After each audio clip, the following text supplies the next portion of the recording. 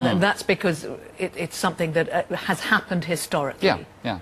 Which is a writing off of debts. Yeah, uh, there's actually one of the. If you've ever, ever been to the forum in Italy and, and taken a look at the uh, the fresh, that are cut into the stone there, one of them is of the burning of the books of debt, which is a regular activity in pre-capitalist societies of actually writing off the debt completely and liberating people who've been put into debt slavery beforehand. If you hadn't had that escape valve, none of those societies would have lasted. OK, well, tell us how it could work as you're proposing it. Whose debts are you writing off? Well, you have to see whether debt is a good or bad thing. And debt, in some senses, is definitely a good thing because rising debt is what actually fundamentally finances investment. Increase in productivity, new technologies, the iPads of the world, and so on, fundamentally are financed by rising debt levels. That's a good aspect of debt. The negative side is when we borrow the money to gamble on rising asset prices. And that's what we've been doing globally, encouraged by the banks to gamble on rising okay. share prices, rising house prices. So I want to buy, borrow a million pounds because of this fabulous idea that is going to be a new technology, a new innovation, yep. and society will benefit from yep. it. Good. Yeah. I want to borrow a million pounds because I want to gamble it on other financial instruments. Bad. That's right. But what, if you look at the, the former, the good bit, in America's economy, for example, that seems to be something which is sustainable with the debt level of something like about 50% or 70% of one year's GDP, whereas the current level of debt in America peaked at 300% of GDP. About five times, four to five times the level of government debt. But that's not all bad debt. Some of that is an awful lot of that, for example, in the United States, as we know, hmm. is people wanting to own a house and, to, and in order to do so, taking out a mortgage. Yes, but the thing is, what they've been caught up in, and that has caused a bubble in house prices. There's no denying now that there's been a house price bubble, and the cause of it was actually borrowing money in the first place. Without the house price bubble, they could be back with a 75% level of debt. Okay, but so where we are now, mm. Are you saying that you write off the mortgages, the debts of people like you and me? Yes. Even people who can afford to pay? We have to look at the situation we're in and say, what do we face if we continue trying to honour debts that we now know should never have been extended in the first place? What do we face? The best example of that is Japan. And Japan is a far more cohesive society than anywhere else on the planet, really. And they have been into a 20-year slump where, where the rate of growth has been lower than their population growth and they're having rising unemployment, even with a falling population. Now, if we look at that in OECD nations, we face two decades of that.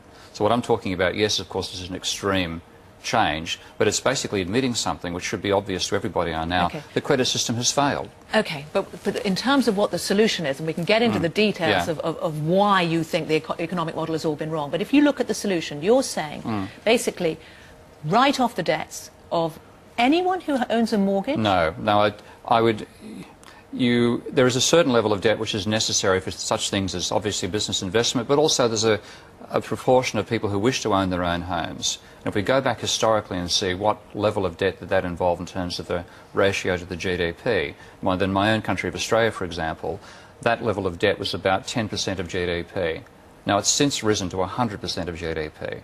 Now fully, most of that extra 90% simply finance the rise in house prices itself. It's a bubble. Okay. But somebody in, in, under your solution is coming in and saying that's a good debt, that's a bad debt. No, I don't think we can't do it. If we try to do it on an individual basis, we'll be here forever and we'll feed lawyers okay. more than Who's making the, the decision about the broad sweep?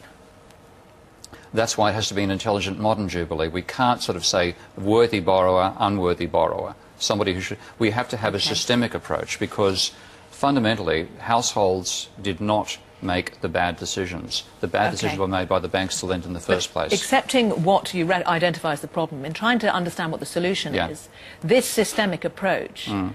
who, who, what is deciding in this new system that we're replacing the current bad one with? Mm. Who's deciding who gets the debt write-off and who doesn't? Well, I wouldn't say it's a kind of individual choice between one individual and another. It has to be a systemic process by which we reduce the level of debt finance money in the economy and increase the amount of government created money.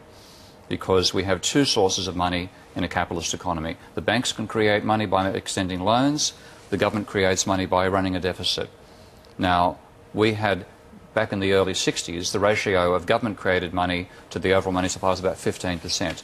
It's fallen so far that we've got an entirely debt based system which has driven speculation. Sure. We need to create the government money to balance out the...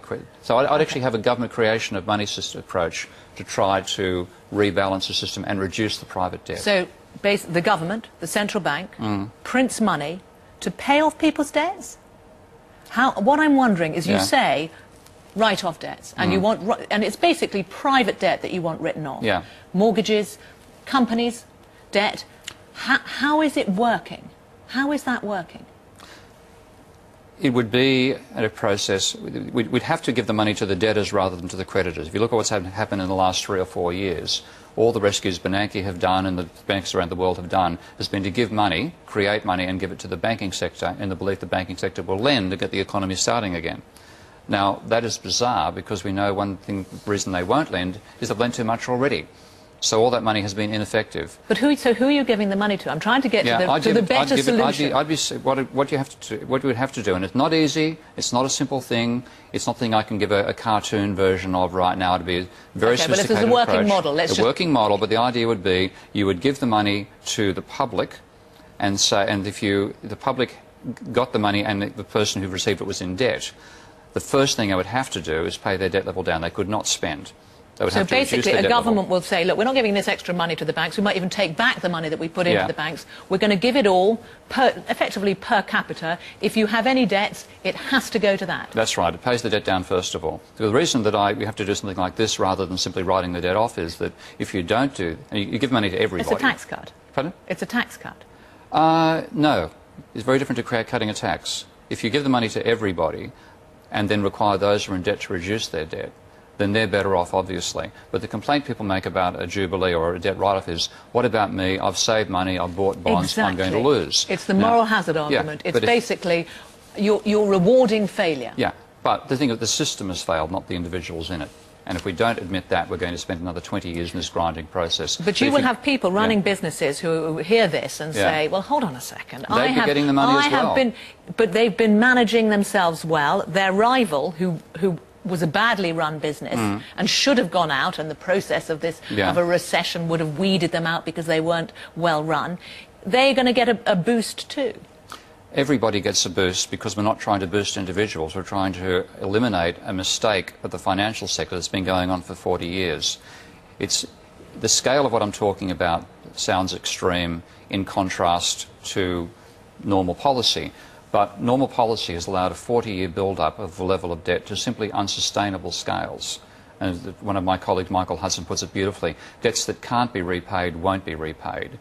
You simply have to work out how you don't repay them. This is, we have to have a sophisticated approach to eliminating a systemic level of debt should, that should never have been built up in the first place. Okay, so you, you give all this money to individuals mm. or companies, and mm. that, which mm. is, there's that measure of how you give to companies. They pay back to the banks who they loan to. Mm -hmm. uh, and you said if we keep the parasitic banking sector alive, the economy dies. Under your model, these parasitic banks, as you call them, would die? No. If